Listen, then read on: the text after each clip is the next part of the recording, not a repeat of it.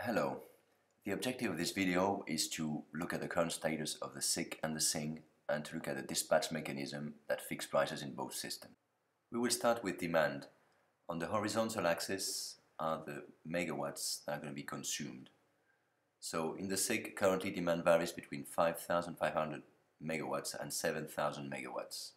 Lowest demand is at night when people sleep and highest demand is in the late evening when people are at home watching TV and cooking.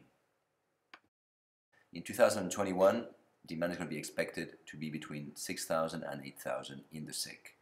Now, if we consider SIC plus SING, in 2021, demand is expected between 8,000 and 10,000 megawatts.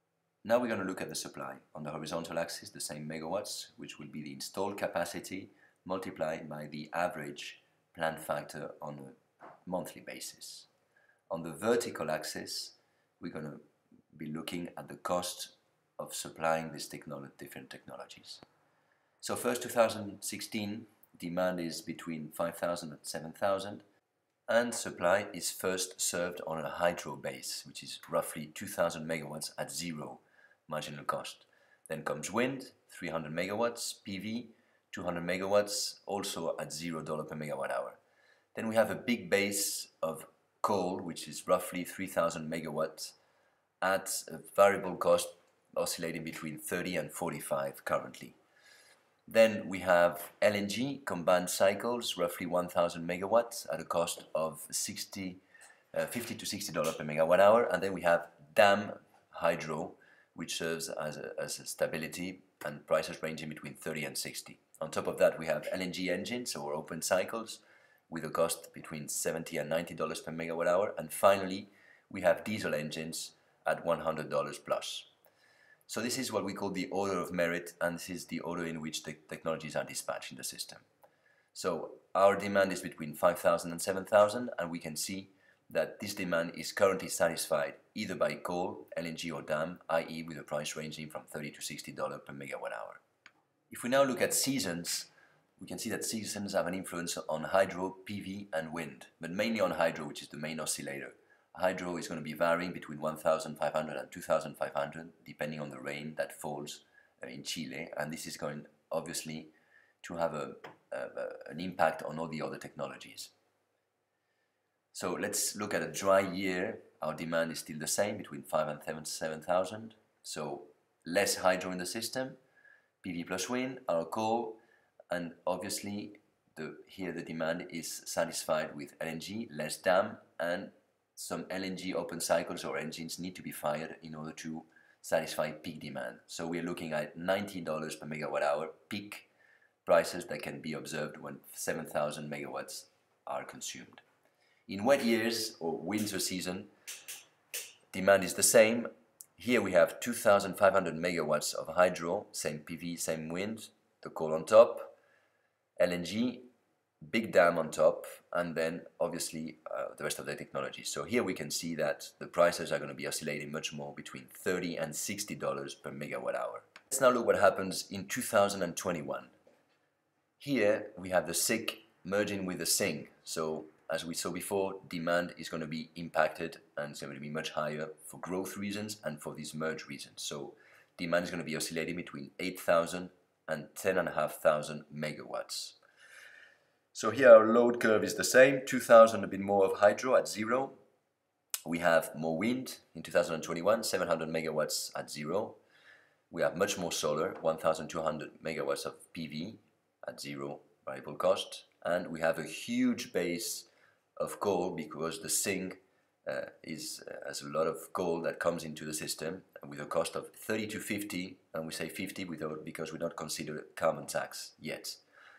DAM is more or less unchanged with a variable cost of 3250. Then on top of that, we still have our uh, combined cycles LNG, 2000 megawatts because we have more coming from the SING. And on top of that, our all type of engines, LNG and diesel. So three things have changed between 2016 and 2021. More renewable, much more renewable. More coal because we have 2000 megawatts coming from the SING that are going to be plugged into the SIC and more expensive fuel prices if we believe the um, International Energy Agency expectations. So with this new configuration, demand is going to be expected to be fulfilled with coal, DAM, and eventually LNG in peaks. So prices will be oscillating between 30, 50, or eventually 70. What will be the impact of seasons with this new configuration? Well, uh, seasons still affect the hydro, obviously, and, and the other renewable technologies, but since the hydro has now a very small proportion of the whole uh, load system, and, and, especially if we compare it to the coal and dam capacity, its impact is supposed to be very small. So seasons will not affect prices very much and will still remain between 30 and 70. So now we're going to look at the daily dispatch. So here we're going to look at the graph in a different way. On the horizontal axis, we're going to put the, the hours of the day, and on the vertical graph, the megawatts uh, of uh, installed capacity and, and demand. So we first going to graph the demand curve.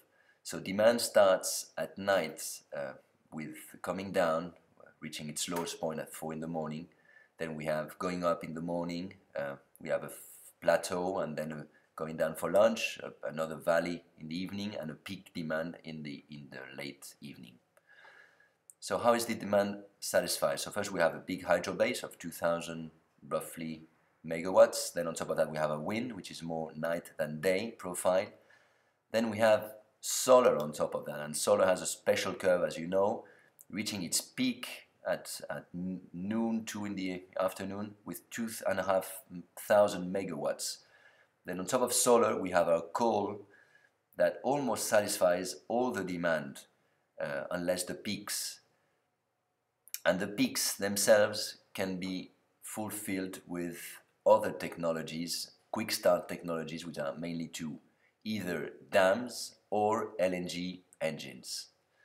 So if we look at costs, all our renewable base is at zero. Coal, again, is expected to be between 30 and $50 per megawatt hour and our peaks is going to be the question between 50 and 70 depending on the on the fuel prices and depending on transmission issues in some areas of the system we can still see $100 and plus uh, in peaks so to summarize this part 2021 SIC SING and merge demand will be oscillating between 8000 and 10,500 megawatts and will be satisfied mainly by coal with a price between 30 and 50 dollars per megawatt hour and either DAM or LNG with a price between 50 and 70 dollars per megawatt hour.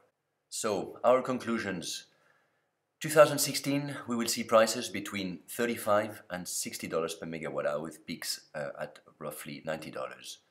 2021 we will see prices between 35 and 70 dollars per megawatt hour due to three reasons more renewables in the system PV and wind more coal coming from the SiC with 2000 megawatts and higher fuel prices that would justify uh, the peaks uh, that a bit higher uh, at $70.